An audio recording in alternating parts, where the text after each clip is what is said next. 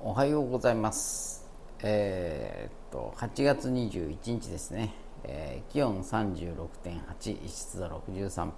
室温26.9、えー湿度58%ですね。えー昨日はお休みでして、お休みなのに、えー焙煎ずっとやってましたね。あのちょうど、えー玉木のテスト焙煎に入りましたんで、えーなんだかんだで忙しい感じですね。はい、えー今日は楽しい時間です。えーそして今日も今日とて、あのーあれですね、ペーパーに前重ね実験やっていきたいと思いますね。はい、えーそして質問ですね、えーコーヒーを素揚げ揚げ焼きすることはできますか？またそのコーヒーは美味しくなりますか？という、えーまあ簡単に言うと油でコーヒーを、えー焙煎するっていうことですよね。あのー油でコーヒーを焙煎する、まあ、簡単に言うとあれですよね。加熱の方法ですよね。加熱の方法を油を使うっていうやり方ですよね、えー昔やっぱそういうのをやったことありますけどもえっとまあとりあえずまずはペーパーを1枚目のペーパーを、えーセットします。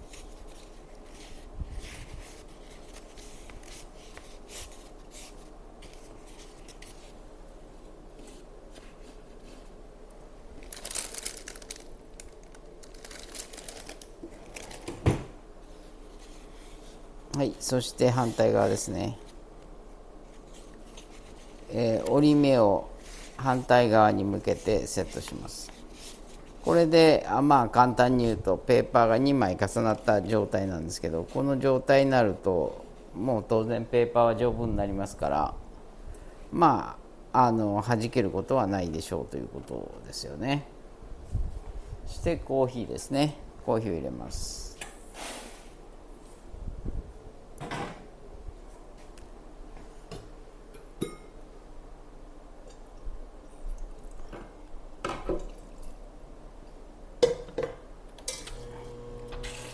はい、えーお湯を用意しますね。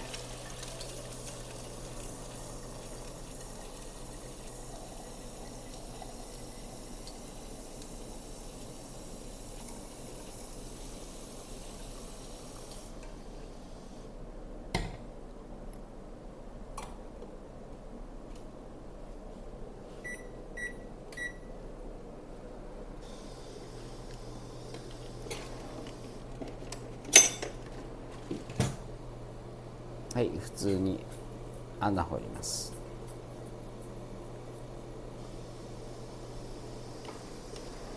えっ、とコーヒーを素揚げにするまあ簡単に言うと、えー油で揚げる時のポイントは何かっていうとあれあれですね。あの普通のまああのあれとは、えー普通のまあなんつうんですかね。天ぷらとかなんかとは違うんですよね。コーヒーをえーコーヒーを揚げるというよりはコーヒーを油で加熱するっていう状態にしなきゃいかんので、えー油があのコーヒーの豆の内部に入り込んじゃうと始末に終えんのですね。で油がこう入り込むということはどういうことかっていうともうベトベトであのとてもコーヒーとしてもうあの使えないというか、まあ、飲めない状態になっちゃうんですね。つまりどういうことかというと油があ完全に、えーコーヒーの内部まで入り込んだ状態になりゃあの水で成分溶かすっていうことができなくなっちゃうんで、えーそれはできれば避けたいわけですよ。そうなるとどうどういうふうかというと、えー油が内部に入らないようなあ工夫が必要なんですね、えーコーヒーを、えー油で、えー焙煎するためには。そうすると何が必要かというと低温の油に、えー実を言うとコーヒー豆を入れると油を吸収しちゃうんですねコーヒー豆が。そうすると始末が終えんので、えーどうするかっていうと高温の油で一気に、えー焙煎するっていう形になります。で高温の油って何度ぐらいまで上げていくかっていうと250度ぐらいまで上げてこないと、えー、結構、えー、焙煎にはあ厳しいかなという気はします。つまり250度ぐらいまでに、えー、上げ、えー、温度を上げるっていうことは結構怖いんですね、えー、煙が出始めるので、まあえー、まずは、えー、真ん中にお湯を指しますね。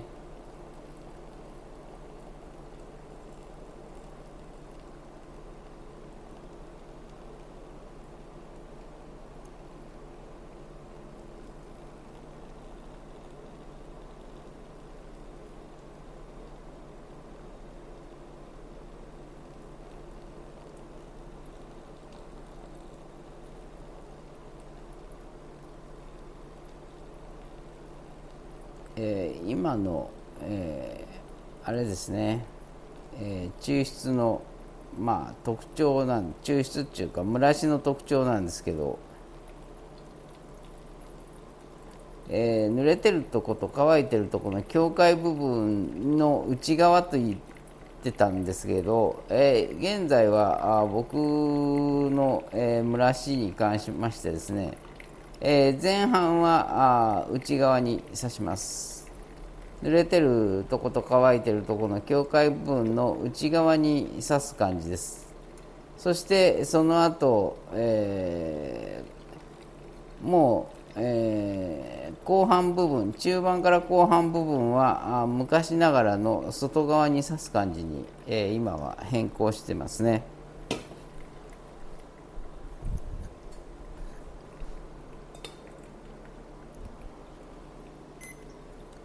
これはどういうことかというとこの蒸らしのお湯の差し方っていうのでまああの結局は過不足なく、えー、ガスを抜くっていうことがまあ重要なんですけど過不足なくということはあの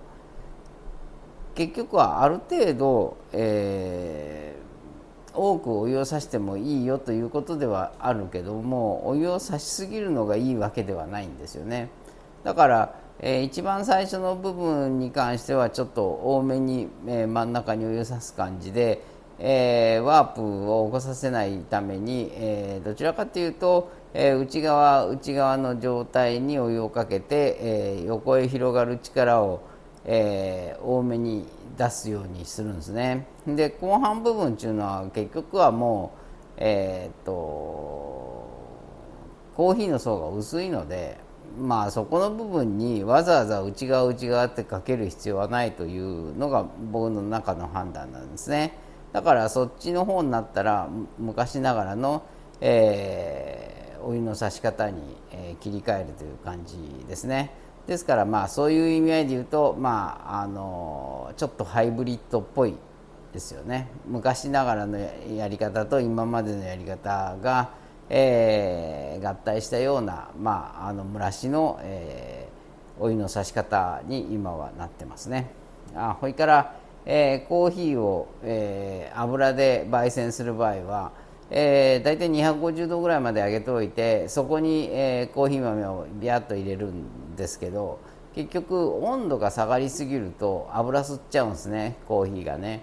だから温度上がりすぎないことなんですよそうすると,、えーと、当然、えー、油を入れると当然、まあ、豆もはぜてくれるし、えー、褐色のあのコーヒーの色合いも出てくれるしからあの当然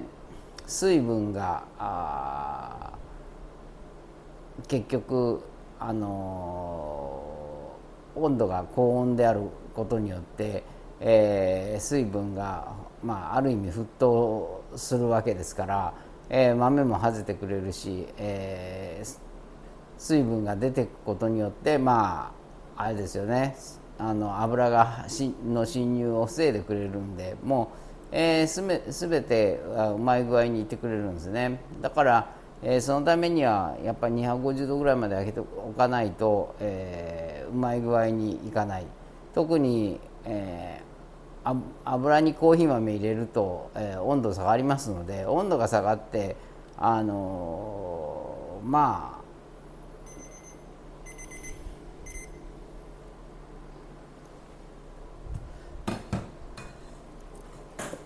結局温度が下がっちゃうと、えー、油を吸い始めちゃうんで油を吸い始めないためにはもう温度を上げておくしかないんですね油の温度そして、えー、コーヒーの粉コーヒー豆をこう一気に入れると、えー、温度が下がりすぎるので、えー、ある程度、えー、入れる量っていうのは、えー、少なめの方が大体うまくいきますね。温度油の温度が下がらないので。そして、えー、もうパチパチと外れて、えー、色がついてきてあのまあ適当なとこまで行ったらもう素直に、えーと、網とかなんかで、えー、取ってください取ってくださいっていうかまあ普通の天ぷらみたいな素揚げするのと同じですよね、えー、そこから、えー、取ってえーとまあ、せっかくだから表面の油をこう抜くために、えーと紙かなんかのとこに広げてくれればいいですよね。そこら辺は天ぷらと同じですね。油を、えー、吸い取らせる必要がありますので、えー、コーヒー豆の、えー、表面の油をこう吸い取らせますよね。で吸い取らせたら吸い取らせながら、まあ、当然、え、コーヒーは冷やさないかんのでまあ、えー、冷たい空気かなんかで冷やすわけですけどもそれが終わったらもう普通に普通の焙煎と同じなので、えー、っとそれをえー、豆をミルでひいて普通にコーヒーを立てれば OK って感じですかね。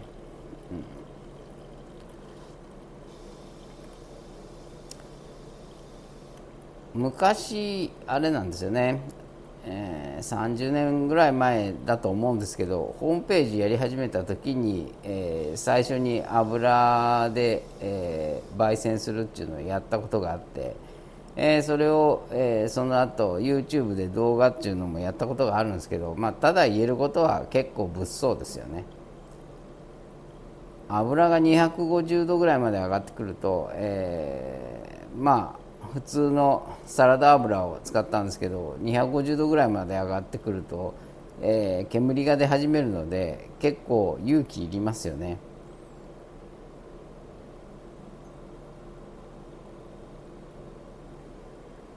だからまあ実験としてはあんまり、えー、どちらかというとやりたくない実験ではありますね。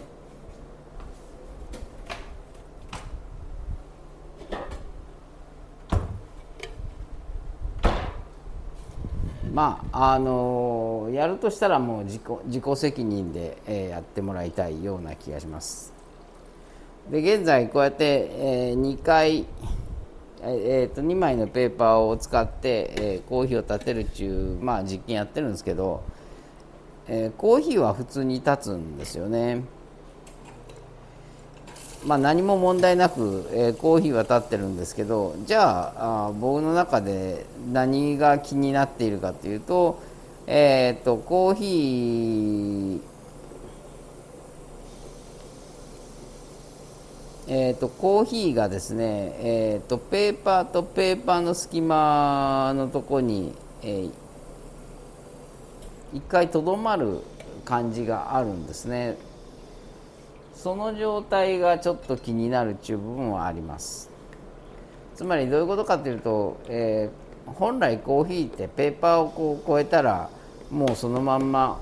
えー、落ちていくわけですよ。本来サーバーの方に落ちていくわけですけどそれが一回、えー、っと湯だまりのように、えー、っとペーパーとペーパーの間に、えー、溜まった部分があると当然溜まった部分があるといっても、え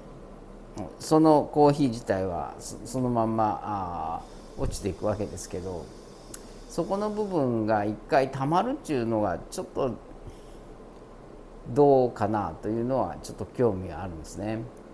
で今かなわんで上を密着してるからその現象が起きてるのかもしれないのでまあ一回、えー、誤配みたいなので、えー、実験してみて、えー、検証してみたいなとは思ってますけども、えー、そこら辺があまだまだ、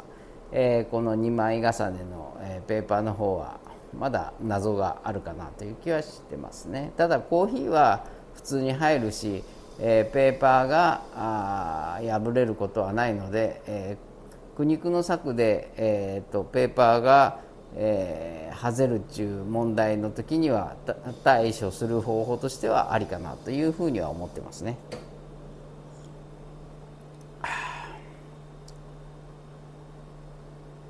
いいですね朝のコーヒーのんびりと飲むっていうのはねいいですねえー、っと9月からの、えー、土曜日のコーヒー教室っていうのありまして、えー、9月からは土曜日、えー、第2第第3の土曜日に、えー、っとやることになっております、えー、ここはあのあれですねどちらかというと初心者向けに、えー、ドリップダラーで松屋式を、えー、しっかりレクチャーしようかなというふうに思っております。えー、コーヒーの初心者で、まあ、コーヒーを美味しく立てたいなっていうような人にですねあのコーヒーの入れ方の基本を教えようかなというふうに、えー、思っております、えー、まだちょっと先の話ではありますが、え9月の14日に9月21日にやりますのでよければですね、え申し込みいただきたいと思います。えー、その時に、えー、っと来てくれた方にはですね一応ドリップダラーとかあセットですねを、えー、2割引きぐらいで、え出しますのでもしも、えやってみてあこれは面白いぞと思った人はですね、えそのまま、え買ってすぐに使えるようにできますのでよければですね、あのまずはえー、ドリップダラで松屋敷、えーと、9月の14日と21日、えー、申し込んでくれればと思っております。また現在はあれですね、えー、時短の水出しコーヒー、えー、プッシュしてます、えー、それで作ったあガブガブ飲める水出しコーヒーをですねあのー、とりあえずですね、えー飲めば熱中症対策になるんじゃないかというふうに勝手に思っております。でこの水出しコーヒーの特徴はですねあのレンジを使って1分間レンジ使うんですけどそれによって、えー、短時間で抽出ができるんですね。水出しでも短時間で抽出ができるっていうのがまず第一に特徴であることと、えー、オイル感が出てくるんですね。これで水出しやると。だから普通の水出しコーヒーの、あのー感じとちょっと、え、とろみ感みたいなのがちょっと違うので、え、これは一つの特徴かなというふうに思っておりますね、えー、とりあえず今日はここまでにしましょう。